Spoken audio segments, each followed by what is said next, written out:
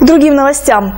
Накануне свой профессиональный праздник отмечали работники сельского хозяйства. По этому случаю в театре имени Станиславского для них организовали праздничное мероприятие, на котором Аким области поздравил работников агропромышленного комплекса, а также вручил ценные подарки и почетные грамоты.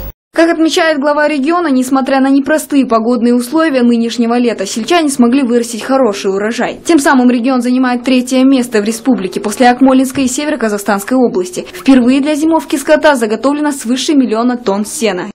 Неплохие результаты достигнуты в животноводстве. В частности, увеличилось поголовье скота, возросло производство мяса, молока и яиц, укрепилась кормовая база обеспечен рост показателей и в перерабатывающей промышленности.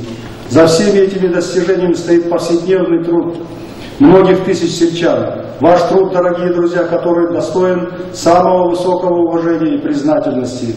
Среди приглашенных на торжественное мероприятие были ветераны сельскохозяйственной отрасли, в числе которых Сайлау Глялула и Нурбахат Кабдикаримова, а Бельгазы Кусаинов по казахским традициям торжественно одел на них чупаны, а также наградил почетными грамотами и памятными подарками.